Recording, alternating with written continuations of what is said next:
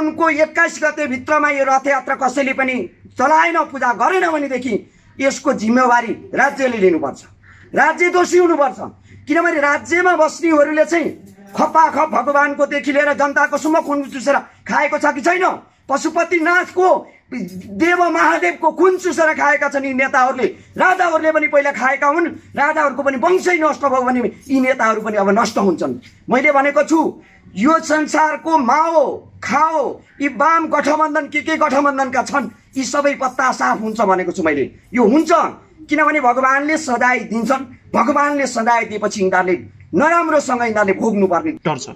अब यो देशको सङ्कट गर्नलाई म चुनौतीपूर्ण भन्छु नेपालमा बस्ने राजा। या जोसुकै होस् राजा होस् प्रजा होस्।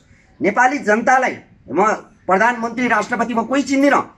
नेपाली जनतालाई के भन्न चाहन्छु भने साउनको तिन गते सम्पूर्ण शक्तिपीठमा क्षमा पूजा मागिएन र साउनको तिन गते सात बजेर तिन मिनटमा क्षमा पूजा मागिएन भने विश्व जगतको मानवलाई धरप पर्नेछ सात युगसम्म। सात युग भनेको कति भने चार वर्षसम्मलाई। चार वर्षसम्मको युगमा आठौँ प्रहारको कली चल्छ। त्यो आठौँ प्रहारको कलीले धेरै चाहिँ मानवमा क्षति हुने नोक्सान हुने जलको वर्षाले नोक्सान हुने जगेश्वरी भूकम्प आएर नोक्सान हुने आँधी तुफानले नोक्सान हुने हिउँ पर धारणले परेर नोक्सान हुने कुनै पनि मानवले लगाएको बाली भगवान्ले खाने। भगवान्ले त सबैलाई दिएको छ नि त। हजुर एउटा कुरा त्यो हत्केला हल्लियो भनेदेखि हामी कोही पनि माग्दैन माग्दैनौँ नि त कल्पना गर्नुहोस् एकछिनको लागि। छिडभरको लागि हामीले कसरी कल्पना गर्नुपर्छ भने यो प्रहारले गर्नको लागि हामीले देवी माता पिता पूजा गर्नै पर्छ। क्षमा माग्नै पर्छ। अबको तपाईँलाई म भन्छु जुन प्रकारको अहिले भगवान्को रथ यात्रा किन रोकियो म यो चुनौतीपूर्ण दिन चाहन्छु प्रधानमन्त्री राष्ट्रपतिलाई। यो मुलुकका कुनै पनि पुजारी कुनै पनि साधु यदि भगवान्को साधु हुँ भन्छन् र साधुहरू राखेका संस्था भगवान्का खोलेका छन् होइन भनेदेखि भोलिदेखि त्यो संस्था बन्द गर। वासीलाई पनि ठुलो खतरा पर्नेछ। यो कसरी खतरा पर्छ भने काठमाडौँवासीलाई अबको केही महिनाभित्रमा जगेश्वरी आमा जागेर काठमाडौँवासीहरूलाई धेरै खतराको चाहिँ यो जलको स्रोतहरू हामी घरबाट निकालेर भूमिबाट खाइराखेका छौँ भने त्यो भूमिको जलको स्रोत सुकिसकेपछि काठमाडौँवासीको घर अन्डरग्राउन्ड भन्छ एउटा मानवले बनाएको गाडिनी भासिनी यो सम्भावना अत्यन्त बढेको। भनौँ हजुरको शक्ति के हो? भगवान्को कणको शक्ति हो।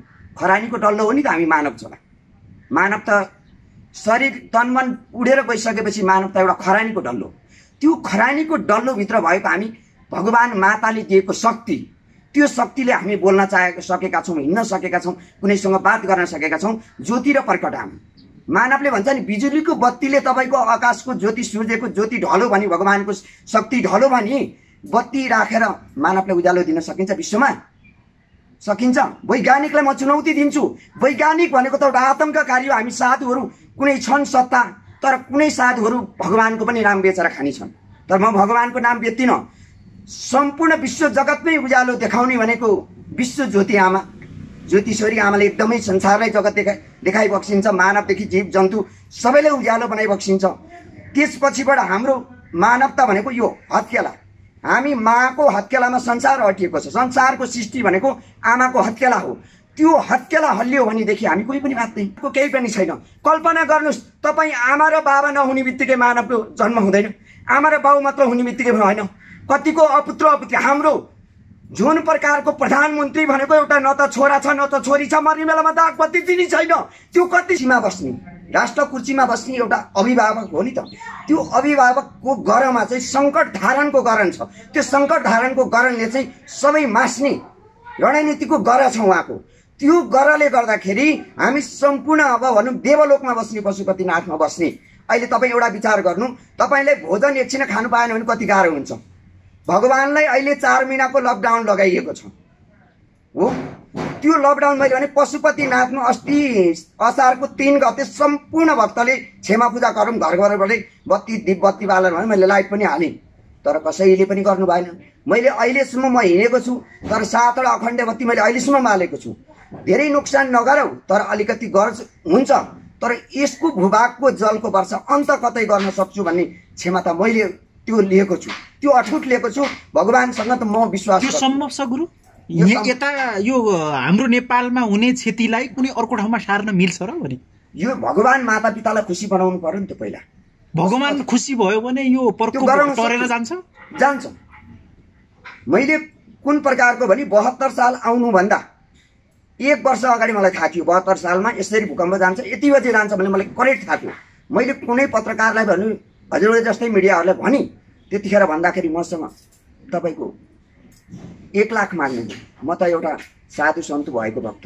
एक लाख तपाईँलाई माग्नुभयो त्यो खुलासा मलाई खुलासा गरेर म एक लाख रुपियाँ दिनुहोस् म हालिदिन्छु भन्नुभयो।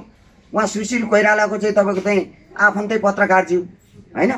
चिन्जान भएको थियो एउटा चाहिँ यस्तै। कुरा गर्नुभयो गुरु? मैले त्यतिखेर चाहिँ जनता हामी मानव चोला बचाउने म बचाउने अभियानमा गएको हो नि त। बचाउनु पर्यो यो दिन यस्तो हुन्छ है भनेर भन्न खोज्दाखेरि उहाँले त्यति पैसा मसँग माग्नुभयो मैले गर्न सकिनँ। त्यसपछि दुई चारजनाले जुन सुन्नु भएको थियो उहाँहरूले पछि भन्नुभयो कि ओहो तपाईँले भनेको कुरा सत्यता पुग्यो उहाँको जुन मसँग एक लाख रुपियाँ पैसा माग्नुभयो नि उहाँको त्यो जगेश्वरी आमा जुन भूकम्प भन्छ नि मानवले हामी जगेश्वरी माता भन्छौँ। जगेश्वरी माता जागेपछि उहाँको दाहिने खुट्टो नै क्रुक भयो। हेर्नुहोस्। पछि आउनुभयो मसँग छ महिनापछि भेट्न। एकतालि भेट्न आउनुभयो मसँग। आएपछि मसँग क्षमा। क्षमा मागेर जानुभयो हेर्नुहोस् ल ठिक छ त्यो बितेका कुराहरू। ठिकै छ बितेका कुराहरू बितिसके। तर अब आगामी आउने कुराहरू गरौँ। अहिले देशको सङ्कट कसरी पु- पूजा गर्नुपर्छ। क्षमा माग्नु पर्यो। पहिलो सुरुमा जलगङ्गा माताहरूलाई पनि पूजा गर्नु पर्यो क्षमा माग्नु पर्यो। जलगङ्गा माताहरूको आरती किन रोकियो पशुपतिमा? नोक्सान कसरी भयो तपाईँहरूलाई सबैले देख्नु भएको छ संसारमै? अहिले र हाम्रो प्रधानमन्त्री र राष्ट्रपतिलाई तत्कालै यो देशबाट निकाला गर्नुपर्छ। सम्पूर्ण नेपाली जनता मिलेर।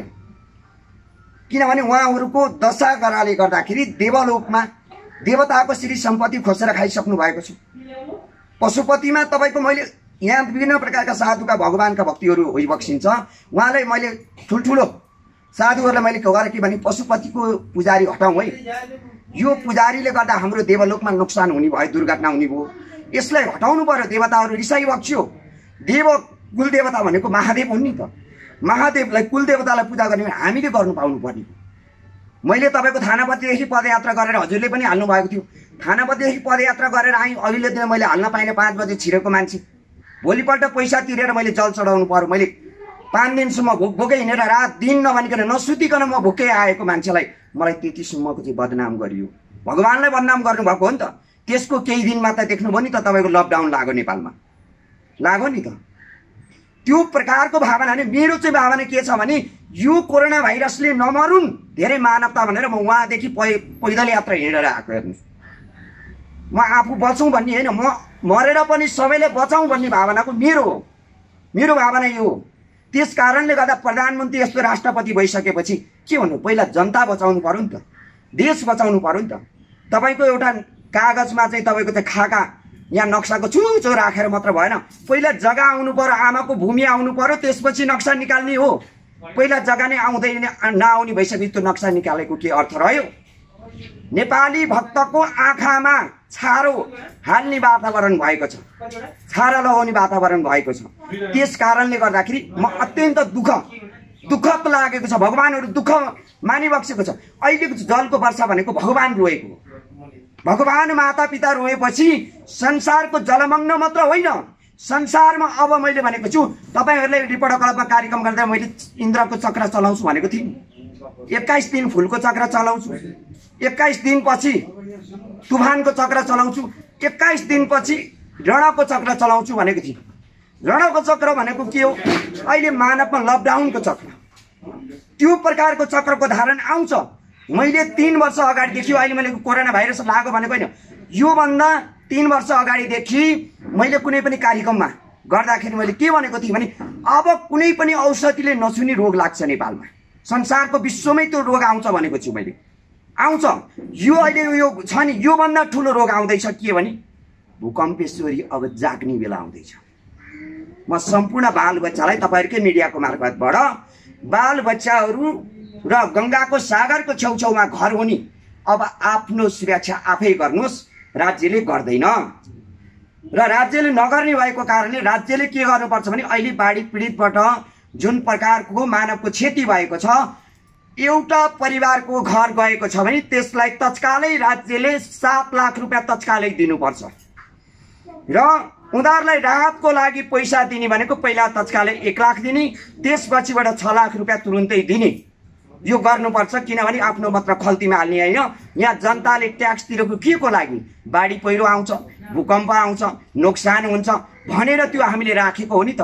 खुन पसिना खाइ नखाइकन हामीले त्यो कर तिरेको के को लागि? त्यसको लागि हो। यिनीहरूलाई धनी गर्ने होइन। अब यति यिनीहरूले गर्दैनन् भने म एउटै कुरा तपाईँहरूलाई भन्छु। अबको दिनमा यिनीहरूले गर्दैन भनेदेखि सम्पूर्ण नेपाली जनतालाई के भन्न चाहन्छु भने करको पैसा नतिर्नु जनताले सजाय दिने ठाउँ छ है। सरकारभन्दा पनि ठुलो जनता हो। जनता जनादेश हो। त्यो जनता जनादेशले तिरेको करको पैसा यिनीहरूले रजाइ गर्छ भने हामी भोलि करको पैसा नतिरौँ त। यी के खान्छन्? यी पुलिस आर्मी यी विभिन्न प्रकारको छ। यिनीहरूले पनि केही खान पाउँदैन। त्यो रणनीतिलाई मैले यो केही दिनभित्रमा मैले पत्रकार सम्मेलन होइन मैले कार्यक्रमै गर्छु होला। सायद किनभनेदेखि यो आवश्यकता परेको छ अहिले भोकमारीले मर्ने बेला भइसक्यो। भोकमारीले मर्ने बेला भइसकेपछि यो कोरोना भाइरस भन्दा पनि महाको भाइरस त जलको वर्षा भएर मरेको छ। मृत्यु अहिले। लगभग सयभन्दा माथिको हाराहारीमा मृत्यु भइसक्यो हाम्रा बालबच्चा। म ती बालबच्चालाई के भन्छु मृत लोकमा गएकाहरूको आत्माको चिरको शान्तिको कामना गर्छु।